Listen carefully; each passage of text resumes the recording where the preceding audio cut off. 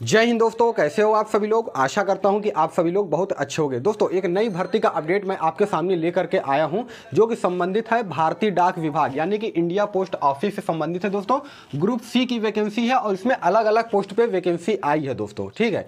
Form को किस प्रकार से फिल करना है कौन कौन से लोग फॉर्म को फिल कर सकते हैं, एज, सैलरी, सिलेक्शन प्रोसेस, सारा बेसिक डिटेल मैं आपको इस वीडियो के माध्यम से बताऊँगा दोस्तों तो वीडियो बहुत ही ज़्यादा इन्फॉर्मेटिव होने वाला है। और देखिए, दो ऐसी बातें हैं दोस्तों, जिनको जानना आपके लिए बेहद ज़रूरी है। वो बातें जाने के बगैर आप लोग इस फॉर्म को फिल नहीं कर सकते हैं। साथ में दोस्तों, हम लोग जानेंगे कि इसमें डॉक्यूमेंट्स क्या क्या लगेगा अप्लाई आप लोग कैसे कर सकते हो। तो वीडियो बहुत ही ज़्यादा इन्फॉर्मेटिव होने वाला है। इससे पहले अगर आप लोग चैनल पर नए हो तो प्लीज़ चैनल को सब्सक्राइब कर लीजिएगा। थोड़ा सा सपोर्ट कीजिए दोस्तों। चैनल सब्सक्राइब करने में आपको कोई पैसा नहीं लगेगा और मुझे मोटिवेशन मिलता है। आपका एक सब्सक्राइब और एक लाख जो है मुझे मोटिवेट करता है कि वीडियो बनाने के लिए। इसलिए चैनल को आप लोग सब्सक्राइब कर लीजिएगा। आइए, वीडियो को स्टार्ट करते हैं। देखिए अप्लाई डेट की अगर हम लोग बात करेंगे तो ऑलरेडी जो है इसका स्टार्ट हो गया है और लास्ट डेट जो है वो तेरह मई 2023 है। ठीक है ना?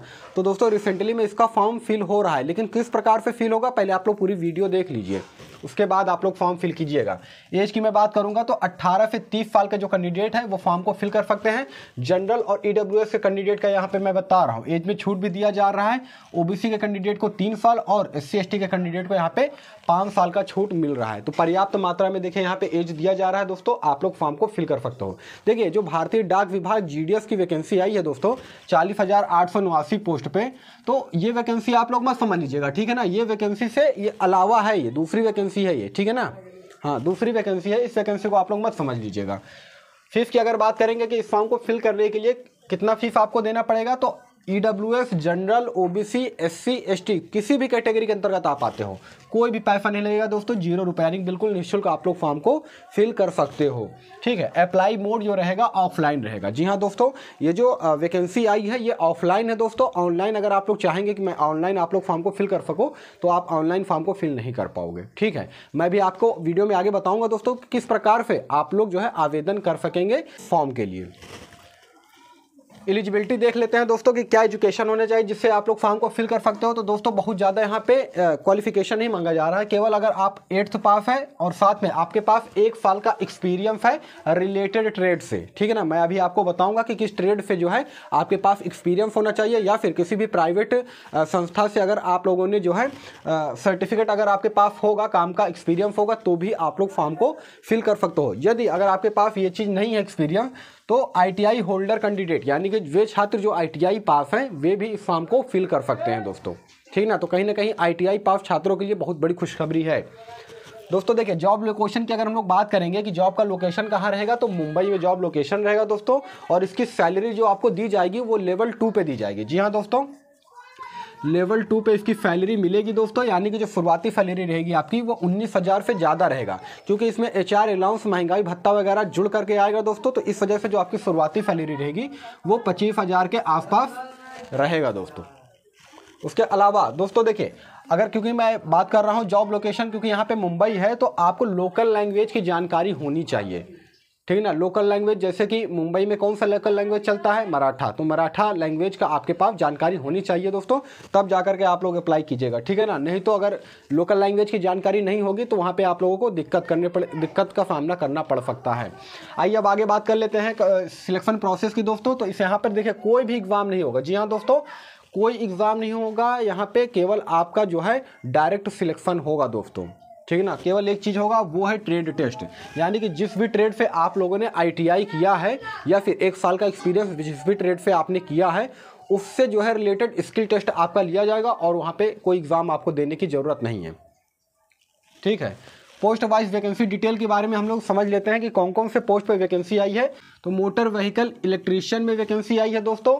साथ में मैकेनिक मोटर व्हीकल के पोस्ट पे वैकेंसी आई है, पेंटर पे वैकेंसी आई है टिन स्मिथ, उसके अलावा वेल्डर, ब्लैक स्मिथ और टायर मैन पे ये वैकेंसी आई है दोस्तों। अलग अलग पोस्ट पे ये वैकेंसी निकाली गई है, ठीक है ना? अब सबसे बड़ी बात आती है कि सर ये बताइए कि अप्लाई कैसे करें। देखिए अप्लाई की अगर मैं बात करूँगा तो जहाँ पे प्रतियोगी परीक्षा की किताबें मिलती हैं, आप लोग वहाँ पे जाइएगा, जहाँ कंपटीशन की किताबें मिलती हैं, ठीक है ना? वहाँ पर आप लोग जाएँगे दोस्तों तो वहाँ पे जितने भी ऑफलाइन फॉर्म आती हैं, वहाँ पे वे लगाए रहते हैं। तो वहाँ पे जा करके अगर आप संपर्क करेंगे ना तो वो बता देंगे कि हाँ ये वैकेंसी आई है, इसका फॉर्म आया है, और आप लोग किस प्रकार से आवेदन कर सकते हो, ठीक है ना?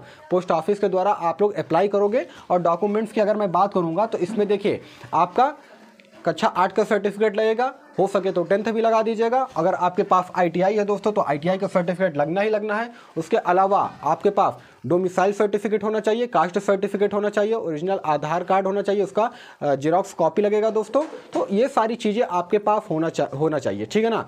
तो पोस्ट ऑफ़िस के माध्यम से इसे ऑफलाइन जो है स्पीड पोस्ट के ज़रिए इसे भेज सकते हैं। यानी कि फॉर्म को फिल कर सकते हैं दोस्तों। वहाँ पे देखिए, टिकट भी लगता है, ठीक है ना? तो वो सारा जो क्राइटेरिया है, वहाँ पर आप लोग जाएँगे तो सारा समझ में आ जाएगा, ठीक है? बहुत सारी वैकेंसी ऐसी होती हैं दोस्तों, जो कि ऑफलाइन आती हैं और चली जाती हैं। देखिए, जो हाईलाइटेड वैकेंसी होती है ना, जिसमें नंबर ऑफ़ पोस्ट ज़्यादा होते हैं तो वो वैकेंसी जो है वो सरकारी रिज़ल्ट पे या फिर और भी जो पॉपुलर पॉपुलर जो वेबसाइट है, उस पर जो है शो होता है दोस्तों। लेकिन जो छोटी मोटी वैकेंसीज होती हैं, जिसमें नंबर ऑफ़ पोस्ट कम होते हैं तो वे वैकेंसी जो है जल्दी सरकारी रिज़ल्ट पे या फिर उसके अलावा जो फ़ेमस वेबसाइट है, उस पर शो नहीं किया जाता है दोस्तों। ऑफलाइन के माध्यम से वैकेंसी आती है और निकल जाता है और लोगों को पता भी नहीं चल पाता है। ठीक है तो ये जो वैकेंसी है ग्रुप सी की वैकेंसी है दोस्तों।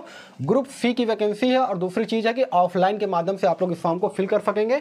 तो बहुत ज़्यादा क्वालिफिकेशन भी नहीं मांगा जा रहा है। यहाँ पर ना ही कोई आपका एग्ज़ाम होगा दोस्तों। ठीक है ना? केवल स्किल टेस्ट लिया जाएगा। तो अगर आप लोगों ने आईटीआई किया हो या फिर एक साल का आपके पास एक्सपीरियंस सर्टिफिकेट हो तो आप लोग ज़रूर इस फॉर्म को फिल कीजिएगा दोस्तों। चूंकिएगा मत, भारतीय डाक विभाग में ये वैकेंसी आई है। तो दोस्तों, यही सारा सब कुछ जानकारी देना था। यदि वीडियो आपको इन्फॉर्मेटिव लगा हो तो वीडियो को लाइक कीजिएगा। चैनल को ज़रूर सब्सक्राइब कीजिएगा दोस्तों। फिर मिलेंगे किसी नेक्स्ट वीडियो में। तब तक के लिए धन्यवाद।